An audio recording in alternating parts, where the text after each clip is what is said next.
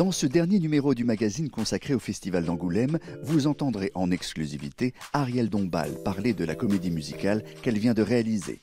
Comme chaque jour, les news du festival, mais on commence par le dernier film du duo des Grolandais, Carven de l'Épine. Avec Yolande Moreau, bonjour, et Jean Dujardin, pour parler de I Feel Good, c'est le nouveau film de Benoît Delépine et Gustave Kervern, qui a été présenté en avant-première ici à, Angoulême. Euh, vous avez fait une présentation presque royale à bord d'une Logan euh, limousine qui fait partie du, qui fait partie du, du film évidemment qu'on verra et qui, devant le cinéma, où vous attendez plus de 3000 personnes, a brillamment rendu l'âme. Oui, mais c'était prévu. On savait qu'elle allait crever à 50 mètres du cinéma. Tout ça, c'est de la mise en scène, vous savez, monsieur Ben Kimoun. Ce film euh, est très particulier, d'abord parce qu'il a été euh, tourné, Yolande, dans une communauté Emmaüs, près de Pau, qui est une vraie communauté qui vous a accueilli. Oui, c'est la communauté, c'est une des plus grandes euh, communautés d'Emmaüs en France, à Pau, tenue par Germain, qui est un, homme absolument fabuleux. Voilà. On a tourné là-bas avec les gens de là-bas où on est très très bien accueillis. puis... Une communauté Emmaüs, c'est euh, une communauté de gens qui ont décidé de vivre ensemble, un projet utopiste. Et l'utopie fait partie de, de, ce film, Jean. Et la poésie aussi. Oui, oui, la poésie, oui, l'alternative. Enfin, euh, effectivement, enfin, c'est des gens qui ont décidé, qui n'ont pas forcément toujours tous décidé. C'est un peu, euh, effectivement, on parle de cabossés dans le film, mais c'est aussi des vies assez cabossées. Et c'est des gens qui sont on va dire, recueillis aussi par. Euh, c'est formidable qu'il y ait un, village qui existe comme ça, où Germain finalement leur demande que leur prénom, en disant est-ce que tu es prêt à bosser? Ben, écoute, tu vas te mettre à la menuiserie ou à la ferraille. On va, on va manger ensemble le midi, on va essayer de vivre comme ça. Et c'est effectivement un village assez incroyable qui s'auto-nourrit, s'auto-gère et qui est peut-être effectivement une alternative avec. Euh, le film n'est pas aussi euh, engagé politiquement. il, est, il, est, politique. On le traverse parce que mais il est en train de dire en gros effectivement que le, le communisme, le capitalisme, le, centrisme, le nationalisme, tout ce qu'on veut, peut-être euh, s'essouffle, enfin essayer de nous trouver des, solutions à tout. Et finalement, peut-être que la solution, elle est parfois euh, dans... Euh, dans, elle est peut-être plus locale. Vous jouez Yolande le rôle de Monique, qui est la, la chef de, ce, de ce village. Et le personnage de Jean, qui s'appelle Jacques, arrive. Et alors lui, c'est l'inverse de, il, est plus, il est plus con que dangereux, donc il faut bien qu'on l'aime un peu. Mais effectivement, c'est une espèce de. C'est très beau C'est un, buvard à, cliché. C'est-à-dire qu'il ne fait que répéter tout ce qu'il entend euh, euh, en politique ou autre. Voilà. Et il, est il y a une espèce chez lui une, négation de l'humanité euh, qui est assez terrifiante. Et tout est bon pour réussir. Donc il a une espèce de fantasme de l'argent de facile. Persuadé que la bonne idée, un jour, le, rendra excessivement riche. Alors qu'il a 2000 mauvaises idées à l'heure. Évidemment, c'est dans une communauté Emmaüs où on sait que l'argent coule à flot. oui, c'est ça qui tout ça. Et il, va, il sait qu'il va pouvoir se reposer encore une fois de plus sur l'épaule de sa sœur, qui sera de toute façon la bonté euh, absolue euh, jusqu'au bout. Euh, il y, a beaucoup de poésie dans ce film, comme il y en a toujours dans les films. Oui, il y, en a toujours chez Benoît de Lépine et Gustave Kervern.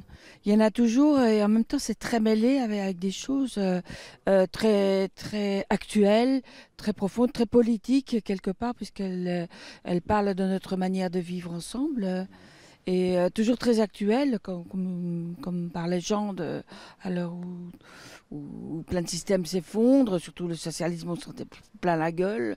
Mais il y a des alternatives qui existent. C'est un film assez joyeux d'ailleurs. C'est un film très joyeux qui parle aussi de chirurgie esthétique. On ne peut pas tout, tout, vous dire, mais. Il parle d'époque aussi. Qui parle de l'époque. Le, le, culte, la dictature de la beauté, le besoin d'être jeune absolument. Et puis de l'apparence euh, qui compte énormément euh, dans tout. Vous avez dit l'un et l'autre oui à, à, Delépine et Carverne pour des raisons différentes. Yolande, vous aviez tourné Louise Michel il y a déjà dix ans.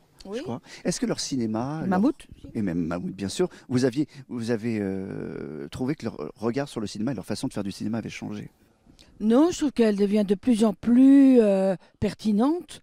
Mais déjà avant, je trouve que c'était des, gens euh, qui rêvaient de faire des plans séquences euh, euh, et, qui ne tournaient pas inutilement. Ils, sont assez rigoureux. C'est vrai ce que dit Yolande, il n'y a pas de chant contre chant, un plan séquence, il y a du texte. Donc il y, a du volume de texte, donc ça peut. Euh, j'y allais pour ça, pour leur fulgurance, leur évidemment leur poésie, leur, leur anarchie, leur, leur ironie, tout ça. Et puis, puis effectivement, ils ont tendance à depuis le début à péter les dogmes, ce qui est vraiment très très agréable.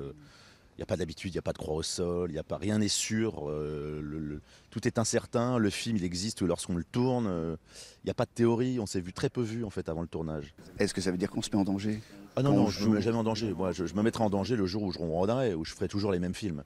J'ai le sentiment depuis maintenant très, un, peu, un peu moins de 20 ans que je, je me prends de vitesse et pour avoir des sensations. Je veux continuer à avoir des sensations. Je viens de faire le Quentin Dupieux, c'est encore un autre truc. Je suis ravi de rencontrer euh, tous ces gens-là. Euh, vraiment, euh, j'y allais pour ça, pour cette. Ils ont un peu comme Claude Lelouch en son temps aussi, libéré les acteurs. Ils vous libèrent de, plein de choses. On s'autorise comme si ce film n'allait jamais sortir, quoi. C'est génial. Yolande, vous êtes libéré? Oh, je, je, pense pas que je sois libérée, mais je suis comme Jean, je suis, je suis une femme de luxe, j'aime bien un peu, un peu de tout.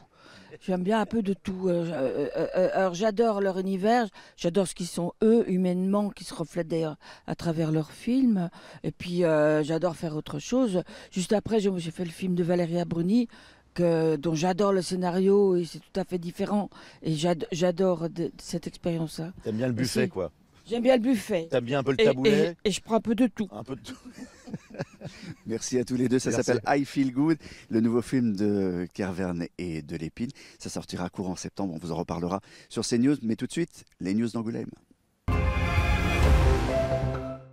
Une salle de blouse blanche pour le documentaire de Nicolas Philibert, intitulé De chaque instant. Le documentariste a filmé pendant six mois des étudiants infirmiers, de l'apprentissage des gestes jusqu'au grand saut à l'hôpital, un hommage tendre à une profession remarquable.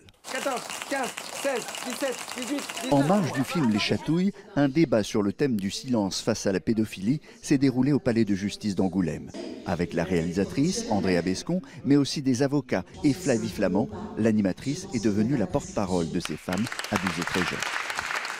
Suite et fin de la compétition avec Le vent tourne de la réalisatrice Bettina Aubéry, avec Mélanie Thierry et Pierre Deladonchamp, une histoire d'amour et de jalousie très loin de la ville.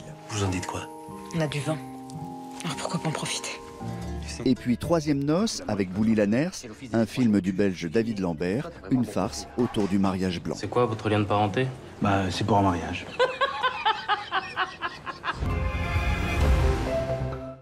Alien Crystal Palace est présenté en exclusivité à Angoulême. C'est le quatrième film d'Ariel Dombal et c'est aussi baroque que ça en a l'air, Ariel. Je crois que c'est un film de genre et c'est un film de grande liberté. C'est-à-dire que j'ai fait le film que je voulais faire et que je voulais voir. C'est un film que l'on peut qualifier peut-être d'un peu adolescent. C'est un film euh, qui, qui, flirte avec le fantastique. C'est un film euh, baroque dans le sens qu'il est, euh, est, il est très beau, il a une espèce, il est très flamboyant, mais euh, il y a des crimes, il y a de l'érotisme, il y a de l'horreur, il y a de la peur, et il y a aussi, c'est over sentimental. Voilà c'est aussi un film musical, un drame musical. Voilà, c'est un mélodrame musical, c'est-à-dire que c'est un film qui est baigné dans de la musique rock, euh, faite par Nicolas Kerr, avec qui j'ai fait mon dernier album. Et de notre dernier album est né ce film. Voilà. Et. Euh, c'est un peu aussi un, hommage à, tous ces films euh, italiens et notamment Dario Argento et euh, j'ai demandé à Asia Argento d'être dans le film et à Michel Faux. Je me suis entourée que d'amis. Vous parliez d'Asia Argento qui, joue dans, ce film. Euh, ces récentes euh, accusations vous, ont, vous ont choqué, bah, vous ont voilà, peiné Voilà, moi, moi, je trouve évidemment que tout ce mouvement balance ton porc est très très très très très très laid, ne serait-ce que le mot porc, je, n'aime pas ça. Bon. Mais MeToo était peut-être plus important. Voilà, MeToo était plus important et c'est vrai que Asia, qui a, qui a commencé le cinéma à l'âge de 10 ans, a eu euh, des déboires aussi avec, avec la jante masculine et qu'elle avait aussi beaucoup de ressentiments vers beaucoup de choses et elle l'a dit, elle a peut-être un peu trop dit et notamment lié à l'affaire Weinstein, etc. Et puis maintenant, il y a comme un espèce de boomerang euh, qui, qui lui saute à la figure et je crois que c'est la première fois que vraiment on accuse une actrice de viol envers un jeune garçon. Alors bon, moi je trouve que c'est un peu difficile de violer un garçon, mais enfin paraît-il que ça se fait. Mais malheureusement, l'histoire est assez envenimée parce qu'il y a des histoires d'argent et de manipulation derrière tout ça. Et Asia était en train de tourner le clip d'Indochine en même temps qu'elle tournait mon film, et c'est la personne la plus inspirée, la plus charmante, la plus, la plus punk. C'est vrai que c'est une punk, mais euh, bon, c'est être comme ça mêlé à cette horrible affaire, tellement ça n'est pas drôle. You can't be one of the suspects. yes, he can. Everyone who's working on this film is a suspect. Il y a beaucoup de liberté dans Alien Crystal Palace qui sortira en 2019. On a un peu de temps au printemps. 2019. Mais enfin, maintenant, il est appelé dans plein de festivals. Et comme tous les films arty, comme tous les films underground, ils doivent euh, vivre leur vie de- d'underground avant de sortir euh, en pleine lumière. Merci beaucoup Ariel Dombal. Merci. Le magazine du Festival d'Angoulême s'est terminé. Tous les films dont on vous a parlé sortiront cet automne. Bon cinéma.